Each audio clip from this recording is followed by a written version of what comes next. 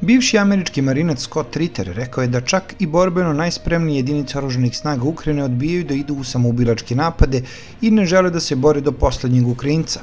Međutim, ono što je sada interesantno je vidjeti da čak i među najfanatičnijim ukrajinskim snagama bezbednosti, Krakenom Pukom i trećom jurišnom brigadom borcima Azova, čak ni oni ne žele da se bore do poslednjeg Ukrajinca. Oni se predaju, povlače i počinju da shvataju da se ovaj rat ne može dobiti i ne žele da umru, rekao je Ritter i dodao da se stav vojske ukrajinskih oruženih snaga ne poklapa sa politikom kijevskog lidera Zelenskog i njegovih zapadnih partnera koji su spremni da pošalju u mlin za meso i poslednjeg Ukrajinca.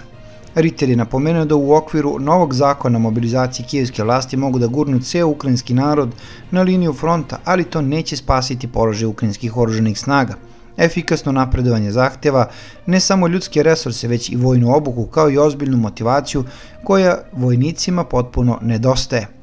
Prema ekspertu, oprema NATO koju su obećale zapadne zemlje neće moći da spase Kijev. Ruske trupe jasno pokazuju šta se dešava sa američkim tenkovima Abrams koje je veličao zapad i drugim neprijateljskim vozilima.